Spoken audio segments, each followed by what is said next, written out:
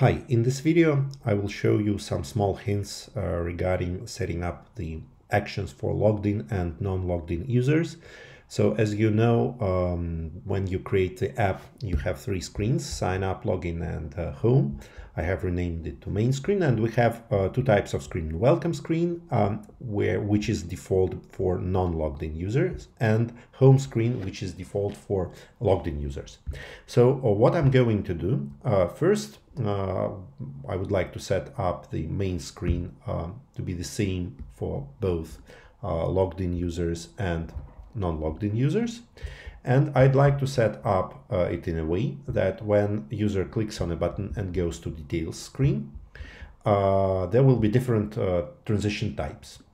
So I'm adding a button here uh, and I will uh, call it view details.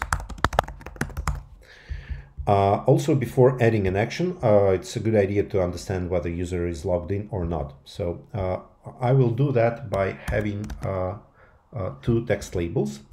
Uh, this one will be welcome logged in user email and this will be visible only if logged in user email is not equal to empty. So if user email, there is something in the user email uh, variable, then uh, this uh, mm, label will be displayed. And this one will be welcome anonymous.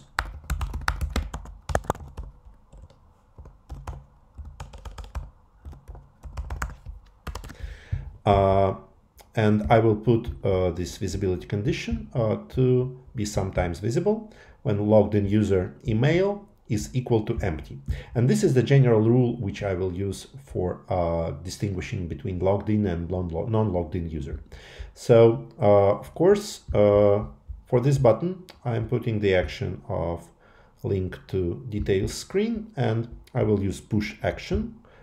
Uh, and this action will happen only if, again, logged in user email is uh, equal to not equal to empty. This will be for logged in user. And for non-logged in user, I will link to the same details screen, but I will use, uh, for example, float up action. So uh, I'm not putting the conditional uh, action here because this one will be executed for all logged in user uh, when email is not in, equal to empty. So the one left will be obviously executed for all others which are non logged in. And also to manage login and logout, uh, I will put two more buttons here.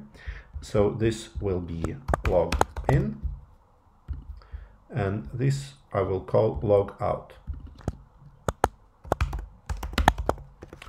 So uh, the log out button will have an action of uh, user login logout. I don't want to go to any uh, any other screen.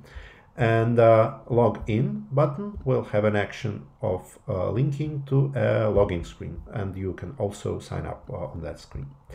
And again, these two buttons will be conditionally visible as well.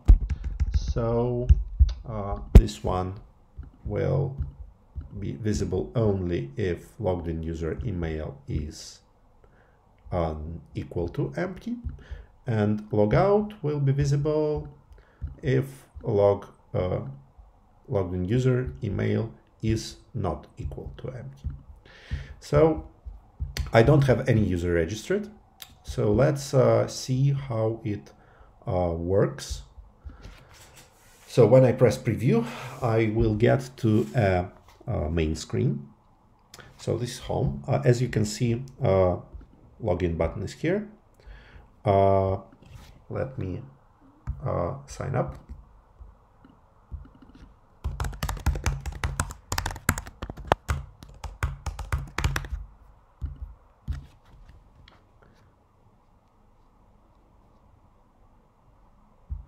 Uh, okay, as you can see, welcome uh, KUZ MTURU.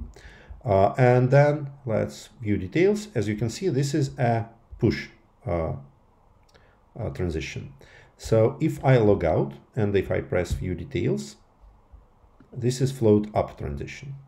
Uh, also, you may ask a question why uh, the label is not visible. It's because uh, actually hidden under the um, the top uh, bar. So if I move it here for the sake of demo, uh, then you will see welcome anonymous as well. So here's it, welcome anonymous, log in.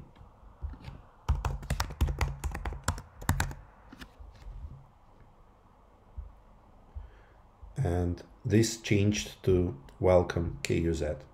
So uh, this is the first example. Now uh, the second example I would like to do is, um, for example, I'd like to put like on this details screen and I will add the property to users collection uh, just for the demo. Uh, it will be true false, uh, say like. Uh, and here in the details screen, I will put a simple toggle and uh, with a label and call it I like it.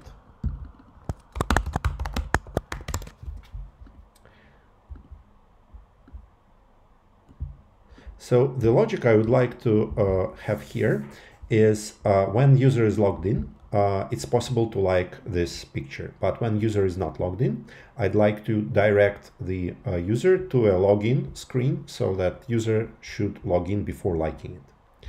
So uh, first I will toggle logged in user. This toggle will uh, toggle the property logged in user liked. So when the active is, it will be checked and the inactive not liked, it will uh, be unchecked.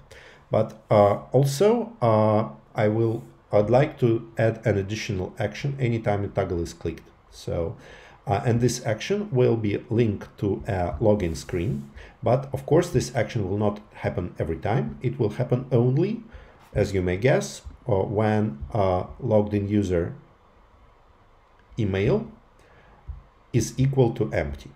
So uh, in fact, uh, when a non-logged in user will try to toggle this toggle, as there is no property to toggle, nothing will change. Uh, so, uh, but uh, the link to login will work and uh, user will get to a login screen. So let's preview. I am anonymous. Let's view, view the details if I press I like it, I get the login screen. So when I log in,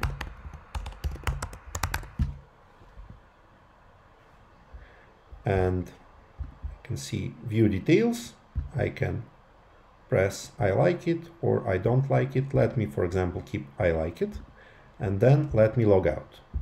And if I go to view details screen, as you can see, uh, I like it is unchecked because of course there is no logged in user and then uh, it automatically goes to login screen. If I go back uh, with the browser this will uh, remain uh, checked but still any click on the toggle will lead on to the login screen. So uh, and of course the uh, value of like or non-liked will not be saved.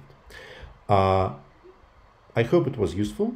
Uh, this was an answer to a question on the forum, so uh, I hope this will be helpful for the topic starter. Thank you.